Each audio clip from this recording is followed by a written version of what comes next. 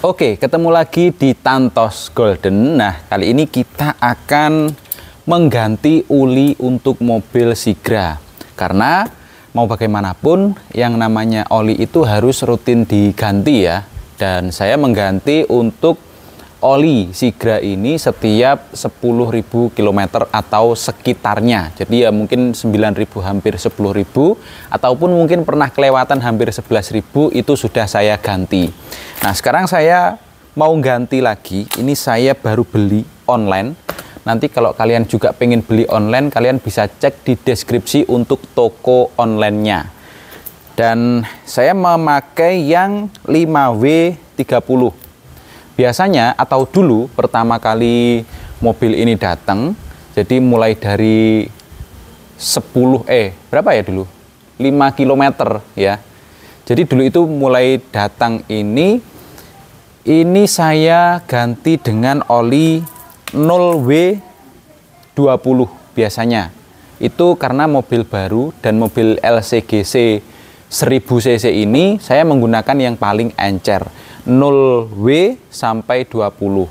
Nah, karena mobil ini sekarang untuk kilometernya sudah mencapai hampir 200.000, ini sekitar 100 100 berapa ya? 150 atau 170 ribu mobil ini. Jadi sekarang saya memakai yang lebih kental, yaitu 5W30. Langsung kita coba buka aja dulu ya.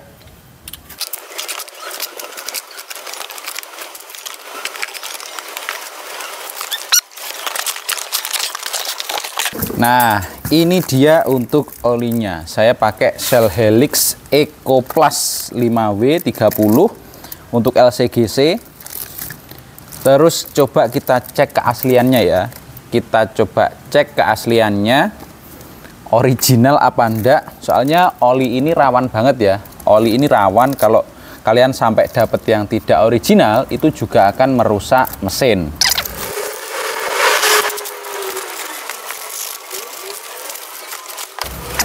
Nah, jadi di oli Shell Helix EcoPlus ini, di sini ditutupnya sini ada semacam kode. Ini digunakan untuk melihat keaslian dari oli ini. Coba kita cek dulu ya. Nah, di bagian tutupnya ini, di sini ada segel dan juga nanti ada kodenya di dalam sini serta bagaimana cara ngeceknya. Jadi ini harus kita pastikan dulu ketika datang ini apakah segelnya masih aman atau tidak. Gitu ya. Nah, kita coba buka.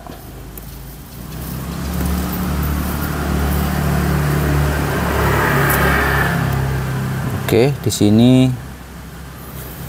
Oke. Nah, di sini ada semacam link ya. Link untuk membuka ini. Apa itu namanya? Link untuk membuka kodenya. HTTP apa ini ya. Coba kita oh pakai barcode bisa. Pakai barcode bisa guys. Kita buka. Berat banget Oke.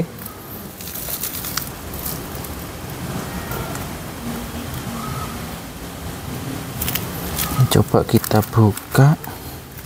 Kita barcode aja.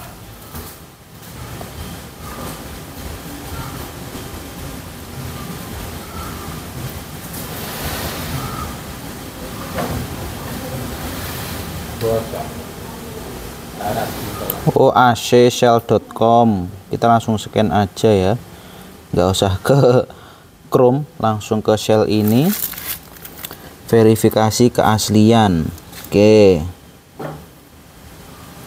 Oh ini dulu saya sudah pernah tapi lupa caranya makanya kita langsung scan mohon digeser ke kanan Oke terima kasih lanjutkan Oh ini notifikasinya. Ini adalah produk Pulma Shell yang asli. Kode verifikasi bla bla bla bla. Terima kasih Anda telah membeli.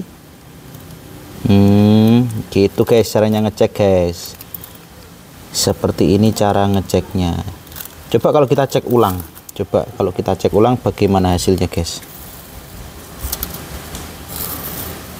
Acshell.com kita coba cek ulang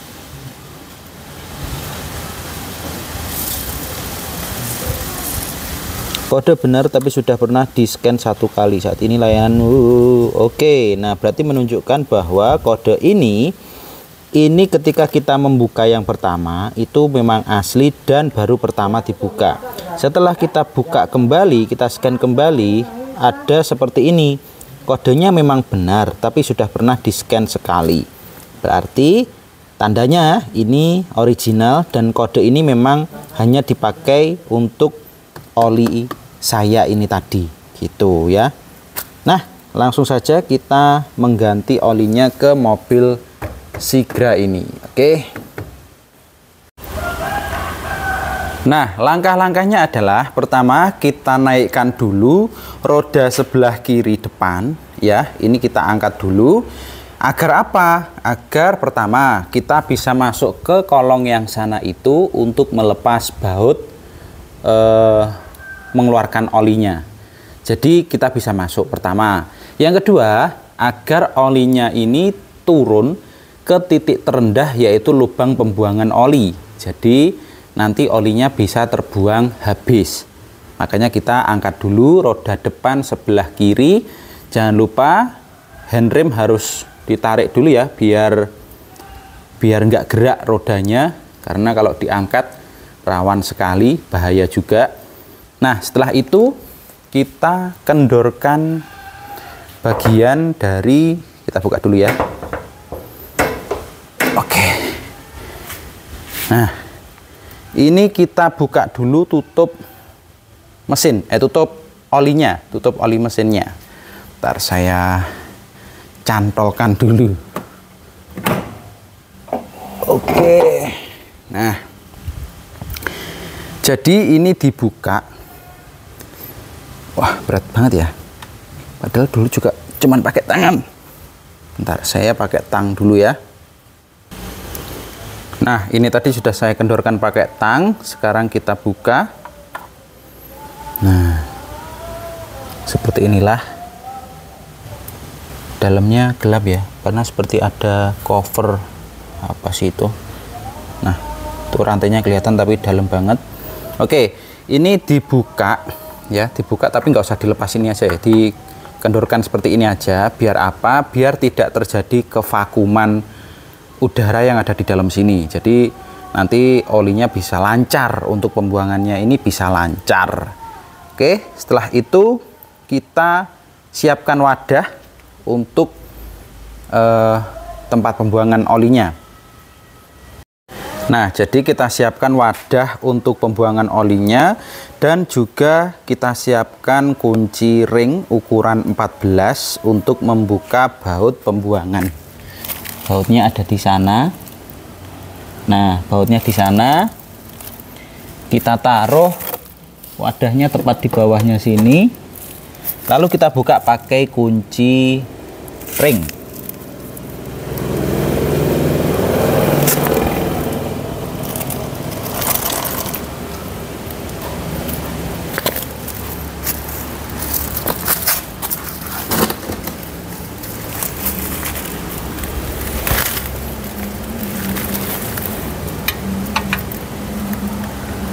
jangan lupa membukanya arah berlawanan jarum jam ya. Uh kenceng banget guys. Nah akhirnya terputar juga.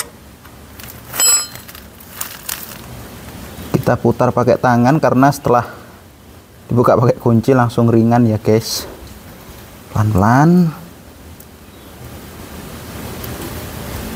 udah hampir lepas tangannya langsung pergi aja biar nggak geluprut oli.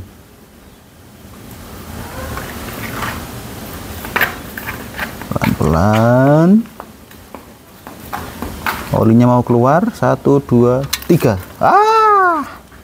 Tetap kena guys tangannya guys. Nggak apa-apa lah. Hati-hati bautnya jangan sampai kotor. Bautnya jangan sampai kotor kita tunggu sampai olinya keluar sampai titik terakhir tetes terakhir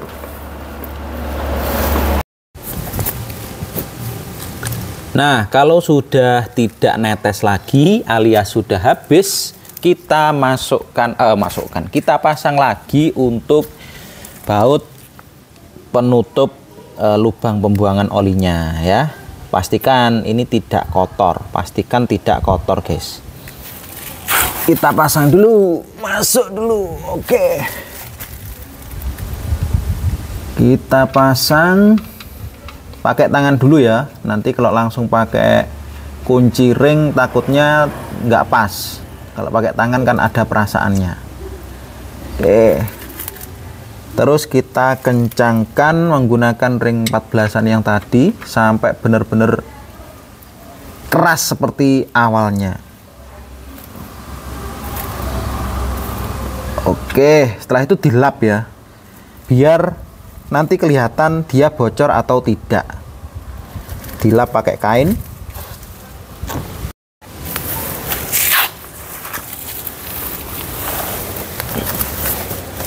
nah jadi fungsinya kenapa kok harus dilap untuk bautnya dan sekitarnya yang terkena oli tadi?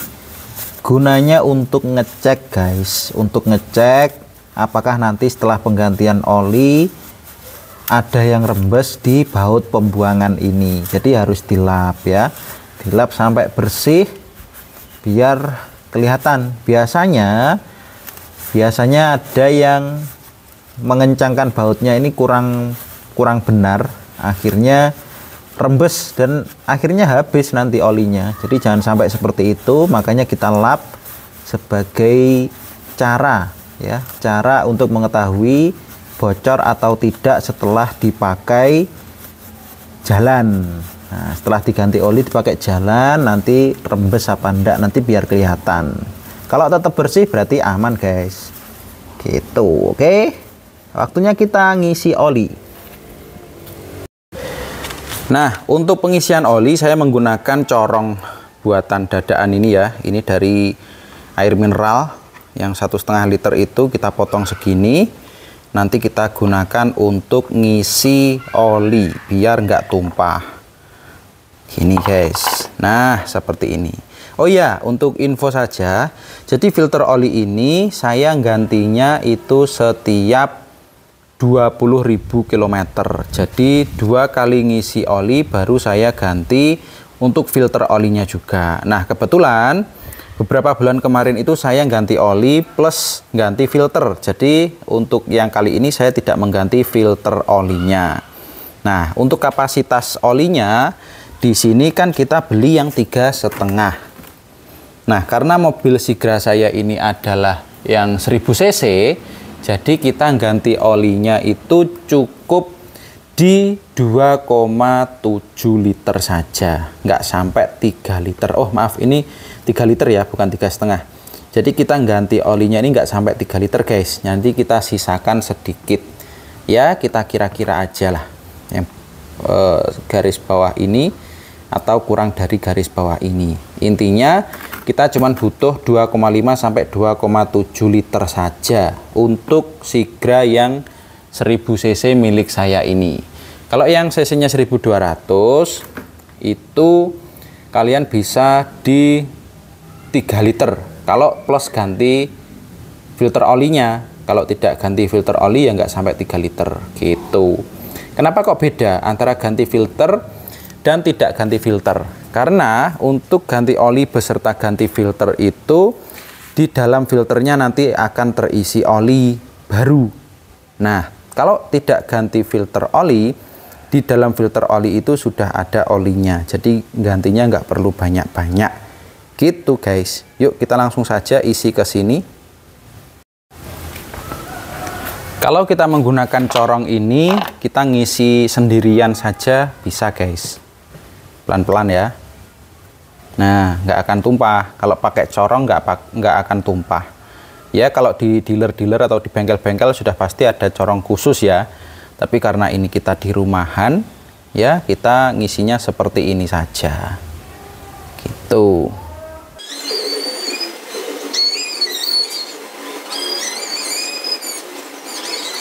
Nah, kita sisakan sedikit di sini ya.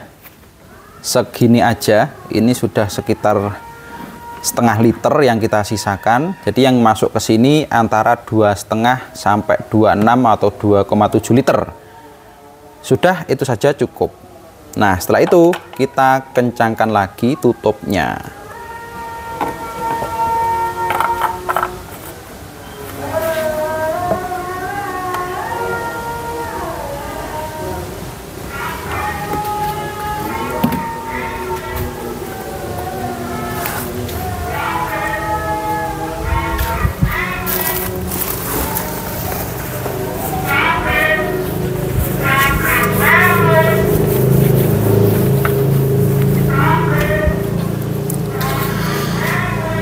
Nah, sebenarnya di sini kita sudah ada stick indikator ya. Stick indikator ini gunanya untuk ngecek uh, keadaan oli kita itu kotor apa bersih. Terus juga bisa dipakai untuk indikator kita olinya kurang atau lebih. Ntar. Nah, di sini ada dua titik. Ini titik terendah, ini titik teratas. Jadi kalau bisa kita ngisi oli itu nanti antara dua titik ini jangan sampai lebih dari e, batas ketinggian jangan sampai kurang dari batas paling bawah ini. Coba kita cek ya.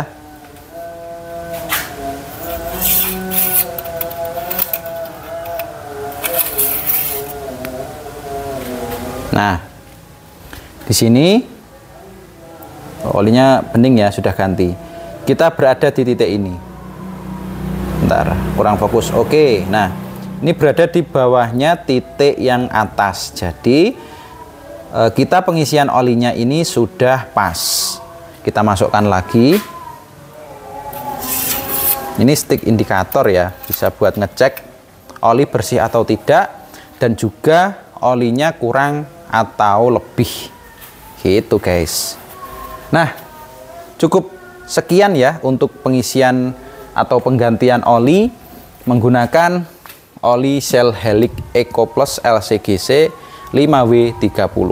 Subscribe channel ini bila kalian suka dan tinggalkan komentar mungkin kalau ada pertanyaan seputar mengganti oli atau video saya mungkin kurang jelas silahkan ditanyakan di kolom komentar. Terima kasih.